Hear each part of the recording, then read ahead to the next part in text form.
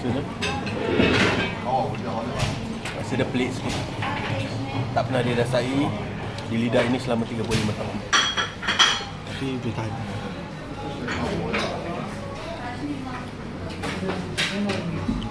Ni Ini pun lain sikit okay. Sayur-sayuran dia Macam gini kan Cara memakan, memakan ni macam gini Macam gini kan Makan dia tak boleh makan daripada sini Kena makan daripada akar dia.